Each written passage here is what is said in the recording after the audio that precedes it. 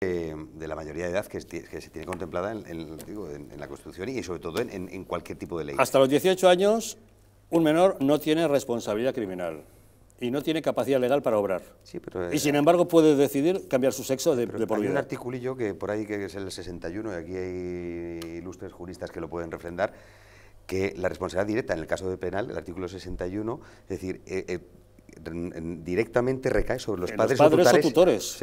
Es que hay una responsabilidad civil, civil pero, derivada. Pero en cambio esta ley autoriza a un menor a cambiarse de sexo sin contar con la concurrencia de sus padres, cuando en cuestiones criminales los responsables criminales de lo que hubiera hecho el menor serían los padres. Es incongruente, ¿verdad? Es decir, absolutamente incongruente. Bueno, pues es lo mismo que les digo y sobre todo cuando los efectos que eh, la ingesta de este tipo de hormonas, de hormonación, tiene sobre un menor, o puede conllevar efectos secundarios. Esos efectos secundarios, si existen o se dan, porque lógicamente cada organismo, digo, cada cuerpo reacciona de una forma distinta, lógicamente el responsable es mm, ya no la clínica que se los eh, eh, prescribe o se los tal, sino simplemente la, tutor, o sea, la, la, menor, en este caso, al ser menor de edad, tendría que ser los padres los que tendrían que ejercer esa acción sobre es la responsabilidad civil derivada de un hecho tan flagrante como este. Es decir, absolutamente es ilógico, pero ya no, ya no solo por decir por el mero hecho eso, sino simplemente por el mero hecho de, de la salud,